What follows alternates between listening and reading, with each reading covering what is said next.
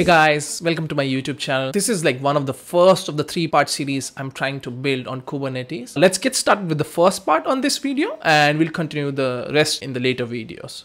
Personally, as a data engineer, I work across building scalable pipelines. So Kubernetes actually comes to the rescue in that sense. Like you could build different modules and just run them in parallel like a big cluster, which is very useful for deploying pipelines with big jobs. For example, if I have a job which processes the data for like a like four or five hours and I want to parallelize that four or five hours across like a different data set like 10 data sets the same four or five hour job uh, what i can do is just uh, deploy that kind of job and scale it using a kubernetes pod so i can just like parallelize whole operation uh, using a kubernetes pod and run it in parallel which is very useful as a part of the introduction, I will try to introduce uh, different concepts around Kubernetes deployment. So Kubernetes is just a software which allows us to deploy, manage and scale applications. The applications are actually packed in containers and Kubernetes group them into units. It allows us to span our application over thousands of servers while just like looking at one single unit it basically abstract all the complexity for any user and it's just work as a whole container system which is like a cluster so kubernetes is meant to work for microservice architecture and it's now have become a standard across uh, different cloud providers like aws google etc uh, before we move on to deploying application using Kubernetes, let's uh, just go through like a few concepts. What is a container? A container is like a standardized unit of software considered as a disk image. So the disk image has uh, all the software, the code, and all the dependencies included, and it just works. And it works like anywhere in Mac, Windows, Linux, Ubuntu, etc. So you can see like an image, which is like an analogy of a Docker container. So it basically is a full package container that can be pulled out of the ship uh, put it into a train, then pull back into a truck and delivered anywhere if we want to. So the next concept is the microservice architecture. Uh, you clearly see in the image the comparison between like a monolithic application and like a microservice uh, based application. Uh, a microservice based application is di divided into like a smaller sets of code, the smaller sets of independent uh, packaged code. So instead of like putting uh, everything into a single uh, app, you are dividing the whole application into small bits and pieces. You can uh, easily see on the right hand side where uh, all of these microservices are interacting with each other, interacting with databases and the UI as well. Compared to the monolithic application where just there is like a UI layer, a business logic and a data access layer which is connected to the data. So the next question is why Kubernetes? Kubernetes is like providing a 15 years of Google's experience of running production workloads at scale. So the main goal is to ease the deployment, scaling and maintenance. That's the idea. So Kubernetes also provides a framework which helps you to run distributed systems resiliently. It takes care of scaling, failover for your applications, and provides deployment patterns and more. With modern web services, users expect the applications to run 24-7. That's where Kubernetes cluster comes in. Uh, it helps you to planet scale the application with the limited sets of DevOps team. So you, uh, when the application grows, uh, you don't have to hire a lot of people in the DevOps team to uh, scale this across the planet. As the second part of this tutorial, we're going to discuss the key concepts around Kubernetes. So a Kubernetes cluster is like a highly coordinated like set of VMs or like set of physical computers that work as a connected single unit. That's the idea. So the way it's abstracted, it's trying to work as a single unit for us, the one who is like trying to deploy the application there. So consider mul uh, multiple computers working together as a single unit. When you use like a uh, Kubernetes command, which is essentially a kubectl command. Kubernetes has like abstracted everything else for us for the deployment. So we don't have to specify where we want to deploy, which, which specific node we want to deploy uh, it's been managed by Kubernetes. We're just passing a command and it's providing us an abstraction. And internally, it, it decides uh, where to deploy that specific application or where to deploy that specific pod. So the abstraction in the Kubernetes allows you to deploy containerized applications to cluster without specifying it to individual machines. So Kubernetes automates this distribution and scheduling of application across all the containers. And uh, how it happens, it's usually uh, using the master node. So basically there's like one master node which has uh, the Kubernetes code and it's trying to manage everything from there. The, the other set of worker nodes are being managed from the master node.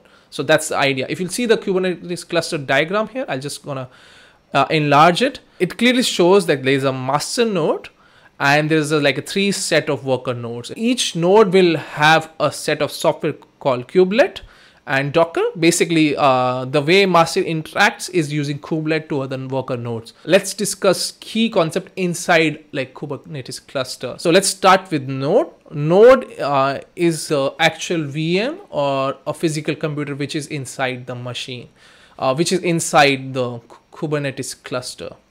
So the node communicates with the master using the Kubernetes API. So when you use kubectl to deploy the apps, you're usually uh, talking to the whole cluster as a whole and master communicates this message to a specific node or a VM and it's just managing internally. The other is like the container runtime, which is essentially Docker, which we are using here. So the next concept is deployment. So basically at the end of the day, uh, you're using the Kubernetes cluster to, to deploy application. So basically you can see a deployment is just like a small configuration where you're providing the information that poop deploy this specific application to this cluster and Kubernetes internally manages this and deploys the application in the nodes. So once the application instances are created, Kubernetes deployment controller continuously monitors those instances. If the node hosting sometimes go down or get, get deleted, the deployment controller replaces the instance. So like all of your deployment are basically being tied to a deployment uh, and the deployment controller is just like managing everything even if like the internal node gets deleted. Uh, the deployment remain as is because the kubernetes cluster like pops up another node or a pod and makes the application works again. So the next concept is pod. A pod is like an atomic unit to the kubernetes platform. It's more of a comparison to an atom to the universe. So whenever you create a deployment in a kubernetes application the deployment internally creates a pod inside the Kubernetes cluster. So this pod is an abstraction which has been deployed to a Kubernetes node. So the Kubernetes uh, pod contains a container runtime where the container image has been deployed. So if you can consider pod as a logical abstraction of multiple applications which work together so there are like different examples you can see in the image. So like there is a one pod which has just a single application. There's the pod 2 has like an application and a db the pod 3 has like two applications and a db so basically consider this application as a docker image.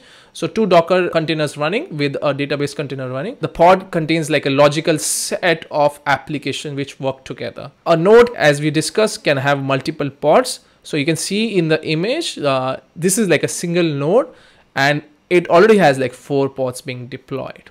So if you'll see a system cube kubelet which interacts with the master node and it has a container runtime called Docker and it has like three different pods which internally have different containerized applications with their databases and volumes. So that's the key concept around how Kubernetes work. The last concept is the service. Uh, by default, a pod is only accessed by an internal IP address within a cluster. So the pods are not communicating with the outside world. They can only interact with the uh, internal other pods or different applications. To make a container accessible outside the Kubernetes environment, you usually have to expose it using a Kubernetes service. The Kubernetes service provides an outlet and you can easily interact with any application inside a Kubernetes cluster. So they work as a service. Hence the microservice architecture comes in. So you're deploying multiple services on the Kubernetes cluster and these services can interact with uh, the public IPs and etc.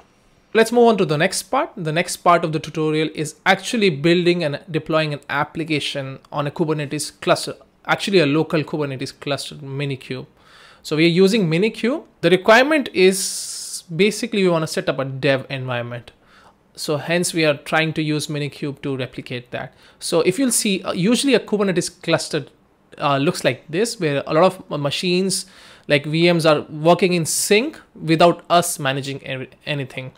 So in production it, it usually looks like this where there are like number of machines and you can scale up to any number of nodes n number of nodes which is quite easy to do. However you would want to develop uh, the application locally and try to build it locally right? Hence comes minikube which helps you to replicate this Kubernetes environment and deploy a single VM and deploy Kubernetes on top of it, then run your app. So Minikube is like a tool that makes it easy to run Kubernetes locally. Minikube runs on a single node, Kubernetes clustered inside a virtual machine and on your like mach local machine like laptop, etc. So it's going to help you to develop application day to day with Kubernetes. The next part, we'll try to install Minikube and try to run an application, like a sample application from kubernetes.org. To install Minikube, you first need to install VirtualBox. VirtualBox is actually going to create a VM locally on your machine. So let's just uh, click on the link. I'm going to add uh, the link in the description as well if, for you guys. Now I've clicked on the link. I'm routed to, to the VirtualBox app. So like for Windows, you have to download the corresponding. Uh, I'm using OS X, so I'm gonna download the OS X host for VirtualBox and install. So let's just wait. All right, now uh, we already have VirtualBox installed. I'm gonna double click on that and try to install the DMG file locally. Uh, in Windows, it's gonna be similar. It's gonna be an exe file. You just have to double click and install VirtualBox on your host. Once you have downloaded VirtualBox, you just need to proceed with the installation by double clicking on the package and uh, just move ahead with the installation. Once it's installed, you can just go to the viewfinder or the spotlight search in Mac or just uh, your Windows application tab and search for VirtualBox. Uh, you'll see an icon and just double click on that just to check if everything is installed correctly. As a next step, you have to install the Minikube in your local. For both of the use cases, I'll leave the link. For Mac, it's quite easy. You just need Homebrew to install. So I'm going to follow the same step on my local computer. Click brew. I'm just going to copy paste and install. So this is going to install Minikube on my local machine. And let's just wait. Okay, now Minikube has been installed on my local. The next thing which I have to do is actually start the Minikube instance using VirtualBox driver. So basically Minikube is uh, at the end using a uh, external VM which we are creating using VirtualBox. So hence we're passing a driver uh, VirtualBox in the Minikube start. It's just as easy as just Minikube start with VirtualBox. So let's just start. The next step would be to start Minikube. I'm just going to copy and paste in my terminal and just run this command. Uh, we're going to call the start and with the driver VirtualBox, which we already have installed. So just copy and paste in your terminal and run the command. Uh, it's going to take some time for it to initialize uh, at the first. So let's just wait. All right, uh, we were able to start the Minikube locally, uh, as you can see on my terminal. Now the Minikube has already started. If you want to close it, you can just do Minikube delete. Uh, or like if you want to stop it, you can do Minikube stop. Then you can do Minikube delete to remove the whole VM from a machine. To check if everything installed correctly, if the Kubernetes is available for you to develop. So just uh, type in minikube dashboard this is going to open up a kubernetes dashboard for you to verify for whatever has been installed. It's going to give you the details on like pods services and everything deployed. So like it's going to give you all the workloads like cron job deployments jobs pods etc so you can view all of these here also one more thing there's like a namespace. You can use different namespaces or create a new namespace of your own. I usually work with dev namespaces when i want to use different credentials. I think this is it with the minikube installation. The next uh, would be uh, around deploying an actual application.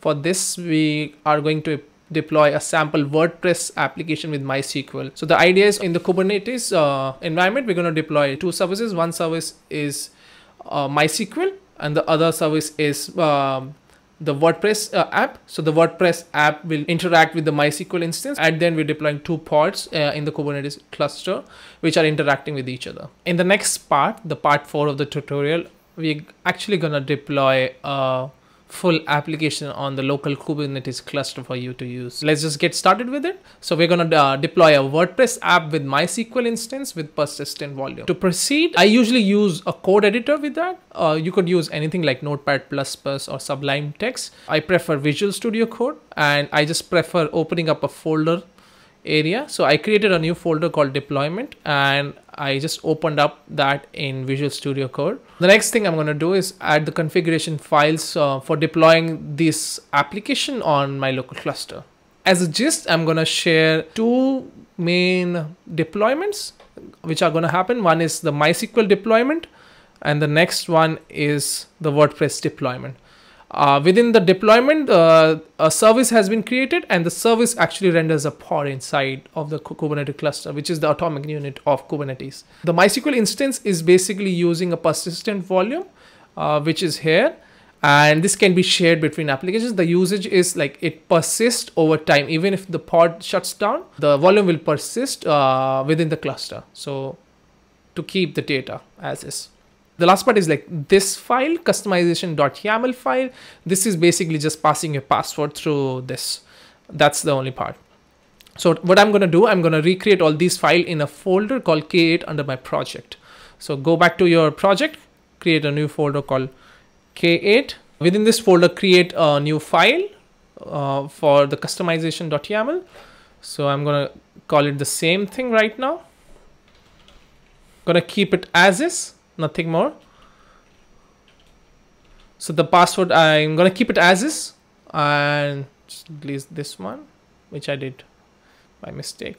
And the next thing is add two other configuration file. One is for MySQL and one is for uh, the WordPress instance. So let's just go with the MySQL file. I'll briefly try to explain what's happening here. There's uh, like a service uh, which is being deployed and uh, there's a persistent volume which is being used by the WordPress instance and uh, there's like a deployment which is happening. So there's like three parts to it. So the first thing which happens is actually the deployment. The MySQL instance is being deployed using a docker image.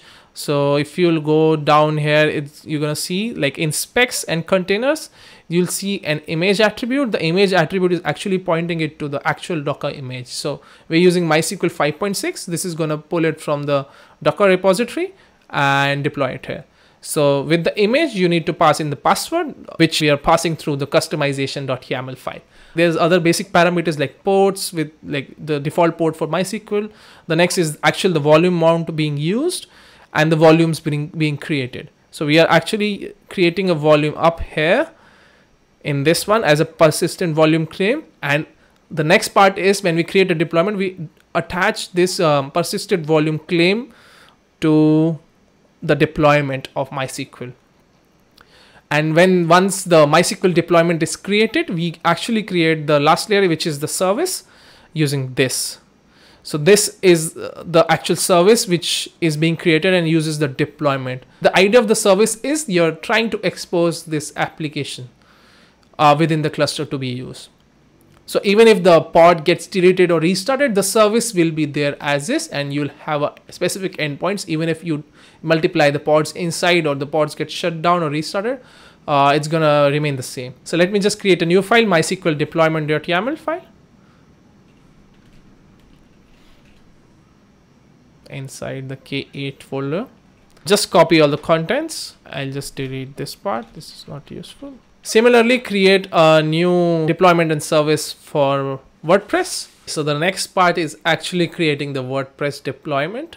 It's quite similar to the MySQL deployment uh, back there. In WordPress deployment, you're just taking an image like uh, WordPress 4.8 Apache image from Docker repository. So it's going to be under spec and container. Uh, with that image, you're passing a few environment variables like uh, db host this is the actual uh, database url which the wordpress is going to call with the db password. So the uh, how the wordpress is going to communicate is using this value. Because if you'll see the uh, the service name for mysql is actually wordpress mysql. That's how it's going to communicate directly. Apart from that it's passing the port uh, like the default AT port for WordPress and the persistent storage it's quite similar to the MySQL deployment. Uh, like after the deployment, there's like a persist persistent storage and there is like the actual service deployment. And I think that's it. What I'm going to do, I'm just going to copy and uh, paste it under my K8 folder. Uh, so like all of this source uh, would be available as a Medium article, so you can refer that easily. As a next step, uh, you're going to deploy these configuration on a Kubernetes cluster. So you're going to deploy your WordPress instance and the MySQL instance uh, as a separate pods and services on a Kubernetes cluster. So to do that, you're going to use the kubectl create command. The way to achieve this is pass in the folder which has all the configurations. So I'll just go to the terminal and run the command. As a next step, I'm going to take this command and run it on the terminal, passing the K8 folder. All right, uh, our deployments have been created. As you can see, the secret file, the services, and the persistent volume with the deployment have been pushed on the Kubernetes cluster on Minikube locally. So to verify that, you need to go to the Minikube dashboard and just verify. As you can see, uh, everything is running. So you can see my pods have the WordPress and the MySQL pods being running up. Uh, the end usage is actually the services. We're going to use the services and call the services to access the data. Uh, I think the WordPress instance is still in progress. So I'll just check out the logs and go back to pods and check if the WordPress instance is running. Okay, I think everything should be running. So let me go back to services and try to access this. As a next step, I'm going to check the pods which are running uh, via terminal just to verify. All right, uh, both the pods are running, the WordPress pod and the MySQL pod. The next step is to get the services for WordPress. Is kubectl get the service. So the external IP is still pending because it's like a local cluster on Kubernetes. To access that, you, you need to use minikube service uh, URL command. So just go ahead and type in that command. All right, you'll get a URL which you can directly access as a WordPress instance, which is very convenient.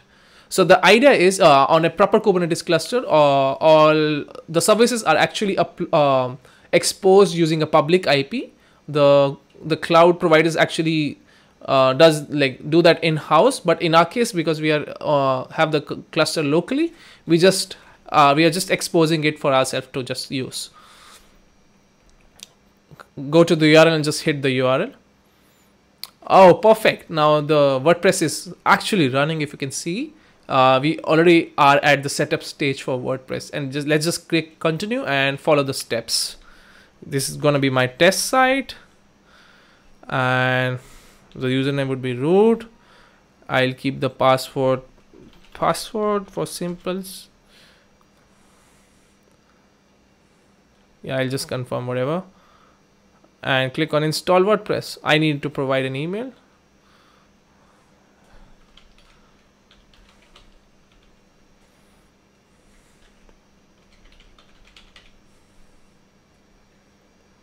I'll confirm the use of the weak password and click on install WordPress. All right, I think everything is running up on our Kubernetes cluster. If you can go back to the dashboard and just view once more what's happening. So we confirm if everything is running. I can just proceed further with this by logging in uh, with root password and try to log in. Meanwhile, I'll just gonna check uh, my existing Kubernetes dashboard. All of them like seems to be running properly. I think then we're good to go because our uh, WordPress site is actually running and um, locally and on our Kubernetes cluster. Uh, as a next step, like when you want to delete the services and delete uh, all of the configurations from your local, you just go back to the terminal and instead of the create command, you put down the delete command and it's going to remove all the pods and services from your Kubernetes instance. So this is going to proceed like within a couple of minutes and let's just wait. Oh yeah, I think it's done already. And that's about it on part four. Thank you for watching the video. I hope you guys liked it. Just before I finish the video, I just wanted to discuss what's coming up next. As the next two part of the series, the second part would be focused on a case study where we're trying to discover how other companies like booking.com pinterest are trying to leverage this microservice based architecture on kubernetes. And the third one would be building a full-blown microservice application like an architecture based application and deploying it on a cloud kubernetes cluster preferably google cloud. So stay tuned for that. Uh, more is gonna come next. And thank you